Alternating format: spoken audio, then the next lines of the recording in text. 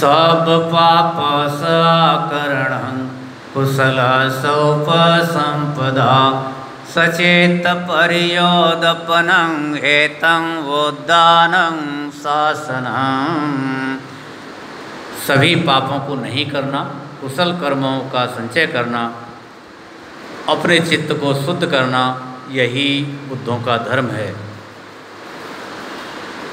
इसीलिए बताया सब पाप सकरण, कुशल सौपसंपदा सचेत पर्योदपनम एतं वोदानं शासनम खन्ति परमं तपोति का नेपानं परमं वदन्ति बुद्धा।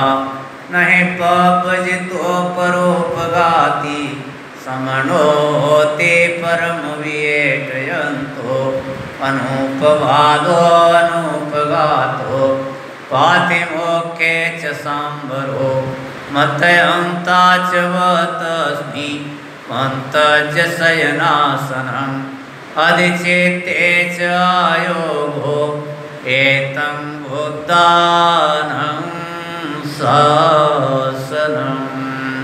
भगवान ने बताया बौद्ध भिक्षुओं को या जो बुद्ध के रास्ते पर चल रहे हैं, उनको कैसे कर्म करना चाहिए, इसीलिए इस गाथा में हम समृद्ध करेंगे। न तावता धम्मधरो यावतावत वासति यो च अपमीशोत्वानं धम्मकायेन पसति। स वेदमदरोति यो धम्मनपमजति नाथि मे शरणं यं बुद्धो मे शरणं वरम बहुत बोलने से धम्म धारण करने वाला नहीं होता।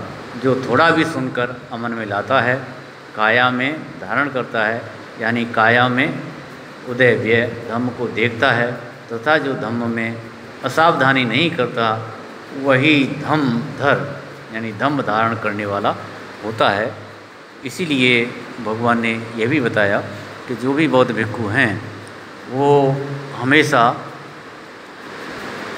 ये खाना जब खाएँ और उस खाने को, मात्रा को हमेशा ध्यान में रखें, अगर आपकी भूख एक निश्चित मात्रा में है तो लगभग चौथाई हिस्से के पेट को खाली रखें। ऐसा ये बताया कि अपने भात की मात्रा को इस गाथा में भगवान ने बताया।